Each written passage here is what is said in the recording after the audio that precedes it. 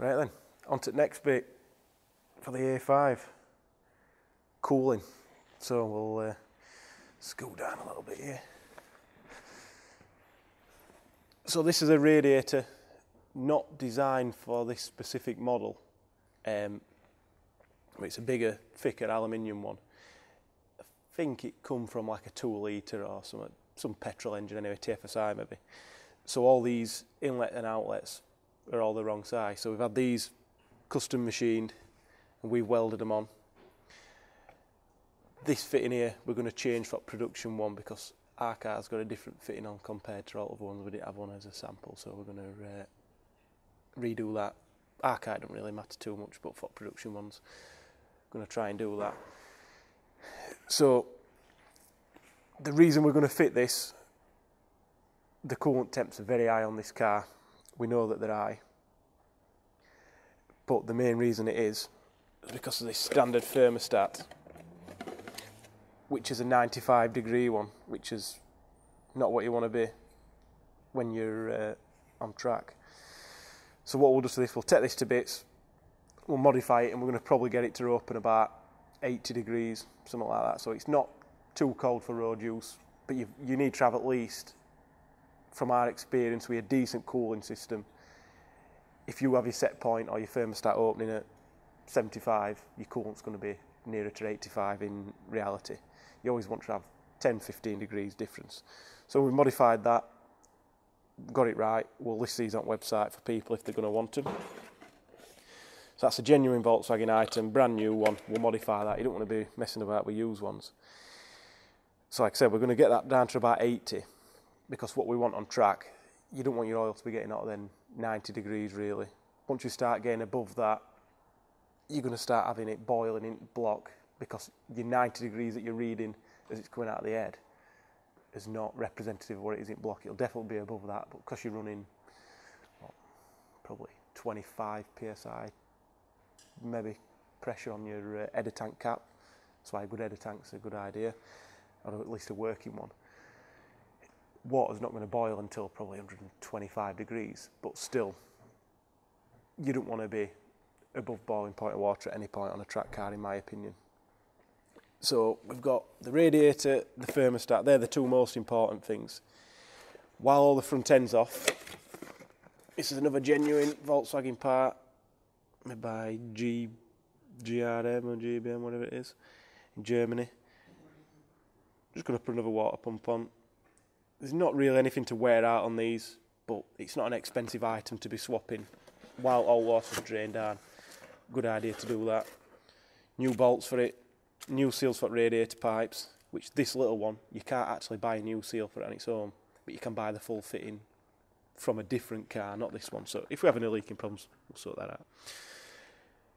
Tensioner, rib belt, and then the pulleys for the rib belt as well, all the uh, deflector pulleys. We might as well swap all that. There's a couple hundred quid to do it all. In grand scheme of things, it's not expensive for this, so we might as well do it. So this is all fairly straightforward stuff. Obviously, a little bit of custom machining to do this, but not really any uh, rocket science involved to do it. These other two little coolers, so it gets a little bit more interesting always use Aeroquip hose as well. This is Dash 8. This is good stuff. In theory, with these fittings, you can just shove them on. You don't even need any Jubilee clips, but we always put them on anyway. You can never be too sure. You can't hold the pipe on too well, especially not when it's oil. So what this little thing is, this is a little oil cooler plate that we've made. That replaces the standard heat exchanger on these. So normally you've got your water comes in here, goes into your oil cooler, and then comes back out. So we've made a plate that just bypasses that straight around, so your water still flows as it should. Then we screw these fittings on here with the seal provided. We screw them on there, and then we can go to these pipes and uh, go to our oil cooler that we're going to mount at the front somewhere. The key to this is making sure that we don't put that somewhere that's going to make this hotter because obviously more stuff you have in front of your radiator, worse it gets. We've already got an upgraded intercooler that's going to cover probably more than half of that radiator. So if we can, we'll get them out at Wayne fog light grills somewhere. If not, it's going to have to go above radiator or in front of radiator somewhere. But less interruptions and airflow to that, the better. What's the worst part about this oil cooler plate is these genuine seals. Absolutely ridiculous money. So much stupid like 60 quid for these free seals. But to get to this, we're look, looking like we're going to have to take the fuel pump off. Which obviously it's not the order of doing things that we'd have done if we just had everything and did it from scratch. But as far as R&D is concerned, we wanted to make sure we do it in a decent order. For the sake of 60 quid worth of seals, you don't have to do all that work again. So it's another one of them where Volkswagen know they've got your bike short and curlies and uh, they'll make you uh, pay for it. So we'll have that mounted to the engine with the new seals on, the fittings on there, onto these fit, aluminium fittings which we supply an extra couple so you can do it whichever way around you want to do it. Usually they come off oil cooler and then they go there. We might, the kit might come with an extra two elbows or whatever when we've done, but that's why we're going to test fit on ours. If somebody just said, I want one now and we've not test fit one, we'd send them a couple of extra ones as well. But we do send a, send a few to give you some mounting options. This is the bracketry that you use to mount the oil coolers on, so screw a couple of them to them to the side of the oil cooler and away you go. I do like when we're fitting these to at least tag onto three of the mounting points so you're not going to rip the bottom or the top off. So if you've got know, to three mounting points, usually better. Obviously, when you buy these from Mocal, you only get two, so you, you sometimes have to uh, use your brain a little bit. We might end up folding a little bit of aluminium and not using these at all, but they come with bracket wall bolts and everything at brackets, so it's no big deal. So then we've got the oil cooler, the engine radiator, and obviously everything to do with that. This other cooler here is a little bit different because one of the reasons we're not using a off-the-shelf radiator that's made for an automatic 3 litre engine is because it's standard on this side here. Yeah, it's this side in car. You've got like a an extra heat exchanger that goes in, and you've got two fittings, which we'll try and get a picture of that up. So you've got gearbox oil going into the side of the radiator. So it's like an extra water jacket on the side of the radiator. So, like the heat exchanger for the oil, they're not just used for cooling purposes. They're also used to bring things up to temperature. So, like your water generally gets up to temperature quicker than your oil. So, we um, we don't really want to get rid of all the um, heat exchange if we can help it. But this is going to get some track use. So having a, a sort of water radiator that's going to possibly make the oil hotter than you want it to be, or the oil that's going to make the water radiator, you don't really want to be mixing everything if you can help it. Obviously, for emissions reasons and fuel economy reasons, you want everything to get up to temperature as quick as you can, and then maintain usually a hot temperature, obviously track use, fast road use, you want it to be safe. So the oil's going to be independent, and then the, the coolant and the gearbox oil's going to be independent. So to come off the standard pipes that come from the gearbox, because they come a fair way, so to replace them, they've got some weird fittings and some some inline filters and stuff. To come off those pipes, we just use these fittings that we've got sort of standardised side. I can't remember exact thread pattern, obviously. Dash 8 at this side, of weird thread at this end. So you're going to come off the pipes that come from the gearbox straight to this cooler.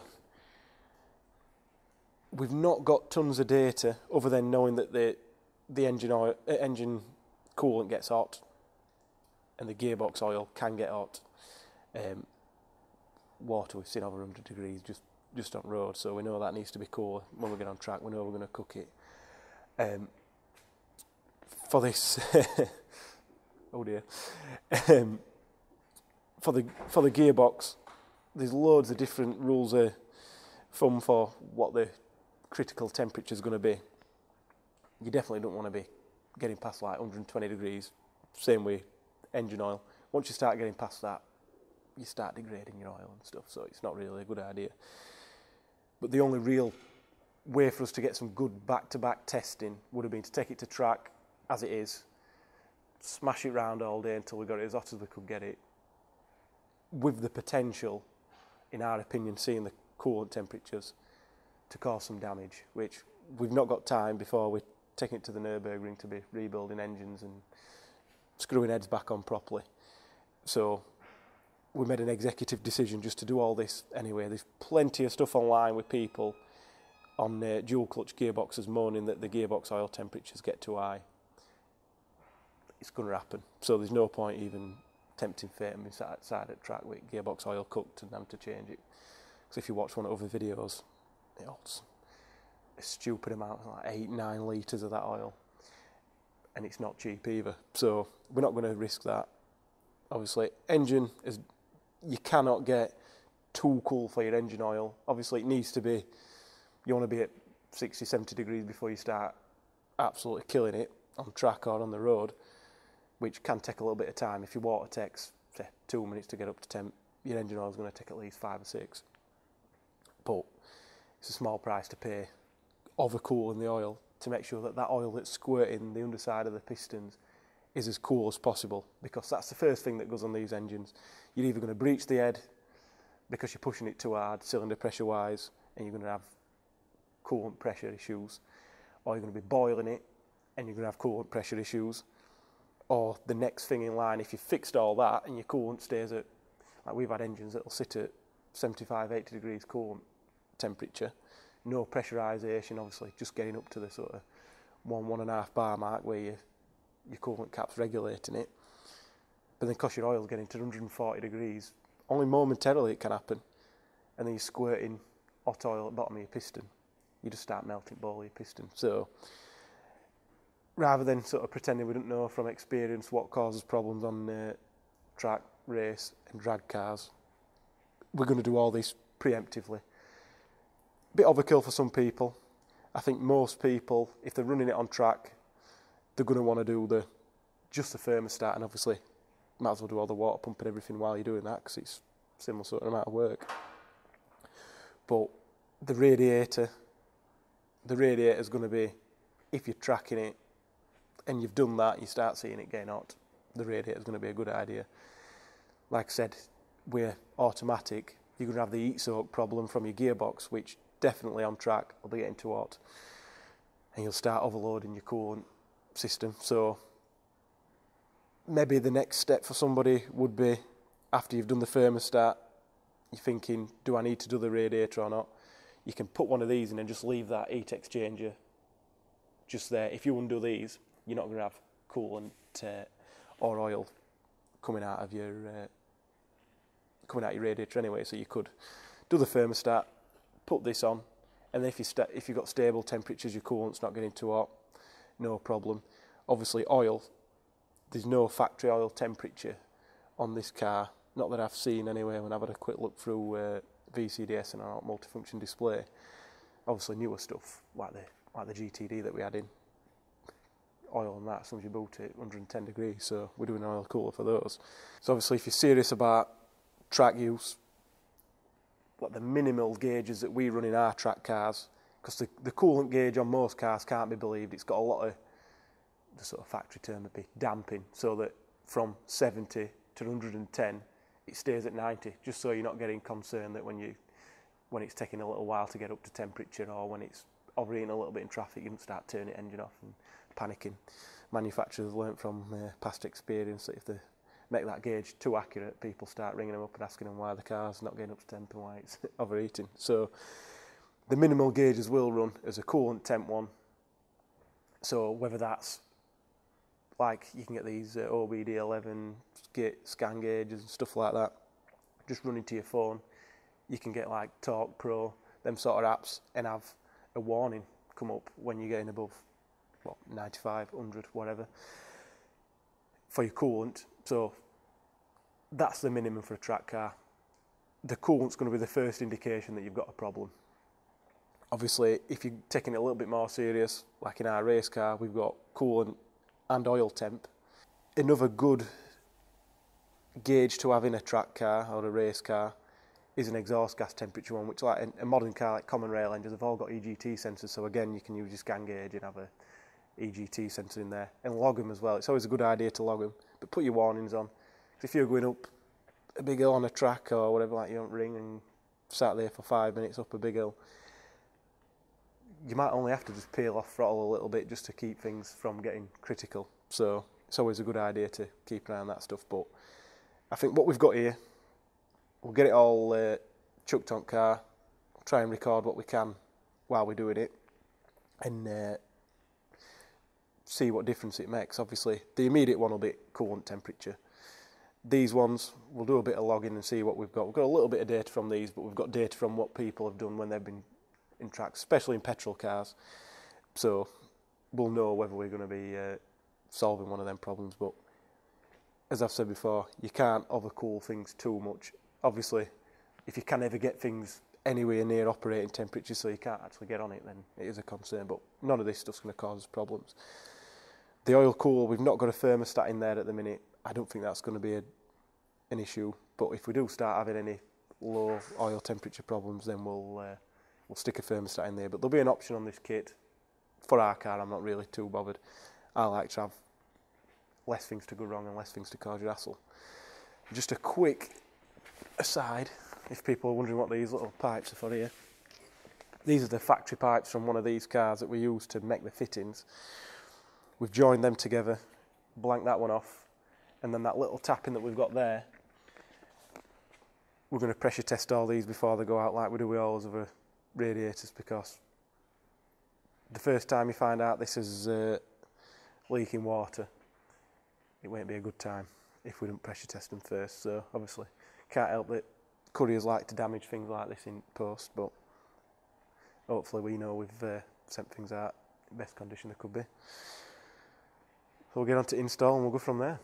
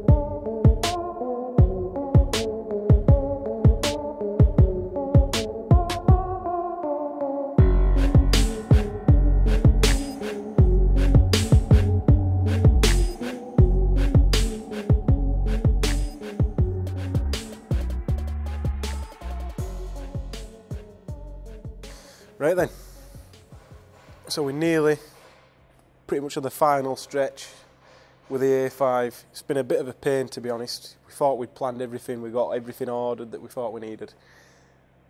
But this is research and development, you find some new stuff. So one of the things we did find, which is a bit difficult to see, but it'd be easier to see, is hidden right down here. Just see a Jubilee clip down there. Looks like it's been in there years, but that's another story. Note to self, and all oil lines are off, and uh, oil cools off. Don't put your foot on brake and turn ignition on for any reason. oil goes everywhere. Um, but there's a fitting down there for the water, which we'll go over to the uh, bench and have a look. But that's got a, a union on there now. That goes to the water pipe. And then this fitting here, this is why we've sort of done this video halfway through before we put inlet on. This that you can see, which is difficult to uh, manoeuvre around, but this is a thermostat, which originally it's got a thermostat that looks pretty much the same as that one, but just with one outlet, and that goes to your EGR cooler.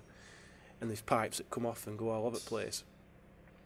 This thermostat's actually from a different car, I think it's from a, a transport van or something like that, which it comes in thermostat and then wires off, which worked perfect for what we wanted.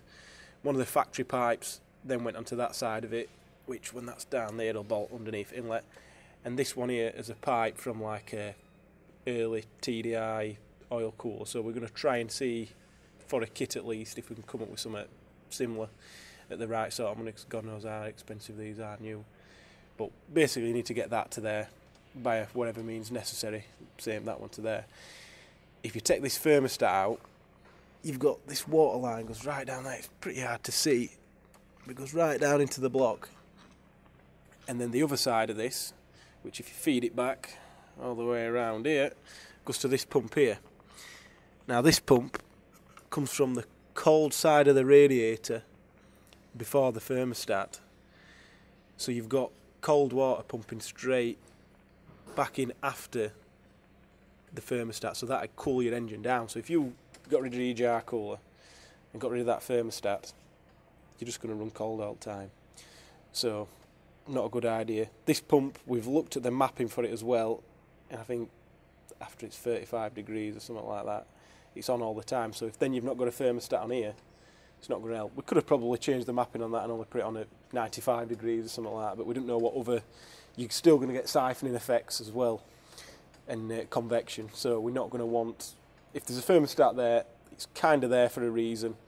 So the full reason we'll never know, but we want to retain that feature because we know from people's messages in the past saying they've deleted the EGR coolers and uh, the engine's not got up to temperature. So these pipes here that are still dangling out, we can't finalise these until we put the other banker uh, manifold on and put both joining pipes on there. These are going to come down and go to this core, which we'll have a look at in a minute. These are coming from the plate on our engine that we've uh, we've removed the heat exchanger and put this uh, plate on there that we've had custom made, which that was the reason why we've got to get rid of the core so these pipes could fit in and get in here, which is not ideal. We are hoping that we could keep the core and sneak these pipes under here, but looking at the room that we got, it weren't going to happen, so we had to wait for some bits to come in and do what we're doing. So if we have a quick look at what's on the bench, you'll see what we've changed. So these are the boring bits. Put a new water pump on while the radiator were off. Tensioner, that looks crusty as well, so we're glad we changed that. All the pulleys and the bolts that go with them. That's the other side of that thermostat. So that's all crusted up, not good. Um, so the flow, it's showing you that the flow is that way. So we, it's right what we're saying about that. The original thermostat, we're going to keep this as a spare, just in case we have any trouble. But that's obviously a 95 degree thermostat, not a. Um, we've ended up modifying it to 82 or something like that, which we'll put a picture up at how much we had to chop off this main spring to get it to open at 82 degrees, which would have liked to have been 80, but 82 were fine. So that's what you need to do. Obviously, it wants to have a little bit of a flat spot on, so do it with a grinder, cut it flat, but I'll show you that picture and you'll have to work rest out for you then. Them fittings are still yet to go on. Um, these are bolts that we still need to go on. That's the cylinder that's going on. So that here is the EGR cooler. So quite a complicated unit with pipes going all over. That's the little fitting we're talking about. Now, some of the earlier engines have not got an EGR cooler like this and they've got a little water pipe comes out. That's where we've got that fitting from. It's not expensive, so it's going to be part of kit that we do.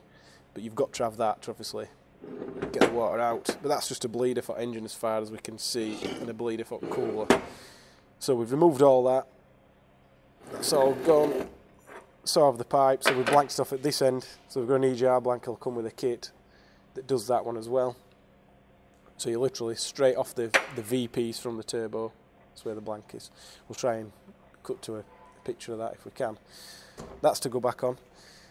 These pipes here are what normally go into the radiator, which will uh, oh dear, there's oil everywhere. We'll cut to a we'll cut to a picture of the radiator as well. That's um, those parts, those pipes there go into the side of the radiator, and there's an heat exchanger inside the actual radiator. So you've got coolant passing in from the engine, and you've got gearbox oil from the dual clutch side of the gearbox going into there as well. So like on the on the front wheel drive sort of uh, four wheel drive, 4Motion stuff, like um, in the transverse cars, they've got an heat exchanger similar to this one on top of the en- on top of the gearbox. These gearboxes have not. So this type of heat exchanger, same on the gearbox on the early ones that we're talking about, uh, on the transverse ones that we're talking about, you've got your coolant goes in there, in and out, and then you've got your oil in and out on here as well. So you're trying to, the idea with all the factory stuff, the gearbox and the engine, you're trying to get everything up to temperature as quick as you can, which sometimes it doesn't always work because you're trying to warm other stuff up as well. But obviously the engine wants to get warm quicker so you're getting efficiency. But they also, you need your gearbox to be at an operate, a decent operating temperature. Um, and you need your engine oil to be at a decent operating temperature. The problem you've got when you put into a track application then or fast road, like we're hoping this is going to be, you're always saturating your coolant radiator all the time. Obviously, if we put this 80 degree thermostat on, but we're still getting 100 degrees uh, coolant temps, it could be that the radiator's not big enough, but it's also because we've got these two, we've got engine oil and gearbox oil saturating the water in the coolant radiator. So we've, we've separated them out. So we'll we'll try and lift car up a little bit and just have a little look what we've got going on there. So I'll just take this torch. I think we're going to need it. I'm not going to lift it all the way up. This should just pull straight off. With assistance from the cameraman.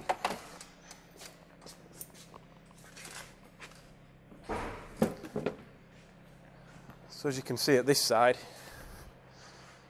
this one's the gearbox cooler. We've managed to get it in so the fog light still fits. Use the brackets that supplied with the kit, the pipe work. So if you just look just through that hole there, you can probably just see how we've joined it on. It's a standardised fitting. I've never seen anybody do them like this, so I don't think anybody's done a gearbox cooler that we've seen. But that's how we've done it anyway. So we've not had to go all the way back to the gearbox. So it's a fairly straightforward kit for the, the gearbox cooler. You could do this completely separately to all the all the other parts that we've got on here, but we've got the radiator on.